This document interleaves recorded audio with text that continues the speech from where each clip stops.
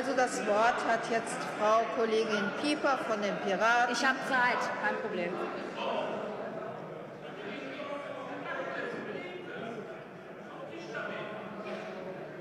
Gut.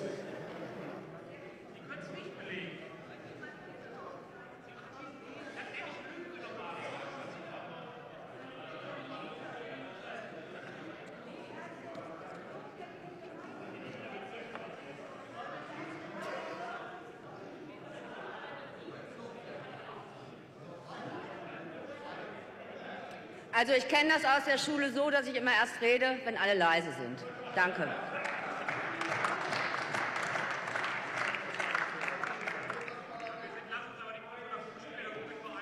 Okay.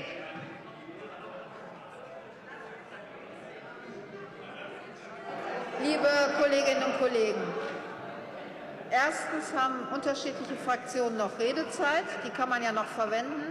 Und zweitens würde Kollegin Pieper jetzt wirklich gerne reden. Und ich habe großes Verständnis dafür, dass man das nicht macht, wenn quer durch den Saal sich unterhalten oder Vorwürfe den Raum hin und her geschmissen werden.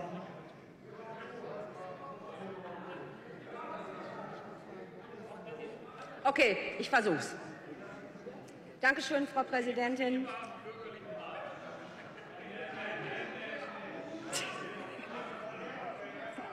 Er war's. Ja, das ist aber ein schöner Anfang, dieses Er war's, nein, Sie war's. Darum geht es nämlich hier und um nichts anderes.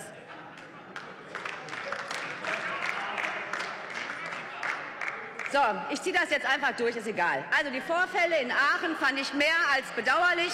Und ich glaube, man hätte mit sehr viel mehr Fingerspitzengefühl diese Situation gar nicht entstehen lassen können. Ähm, es gibt aber jetzt überhaupt keinen Grund, das zu pauschalisieren und da so einen Ballon aufzupusten, der eigentlich schon so ein kleines Löchlein hat, wenn man sich die Akten angeguckt hat.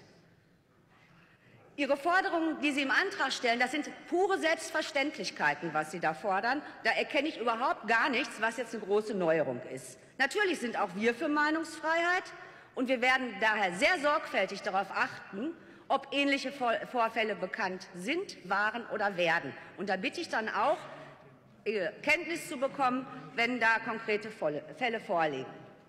Aber das, was Sie hier machen, das ist nicht mein Stil. Wir sind hier, um Sachpolitik zu machen und nicht, um uns gegenseitig hier irgendwelche Sachen vorzuwerfen. Wir haben so viele Probleme in der Schulpolitik. Ich weiß gar nicht, wo wir die Zeit hernehmen, uns mit dieser Sache zu befassen. Vielen herzlichen Dank.